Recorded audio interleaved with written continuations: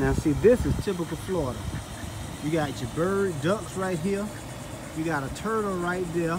Everybody living together is one. You got another turtle right there with your ducks swarming. Typical Florida. Look at that beautiful thing right there.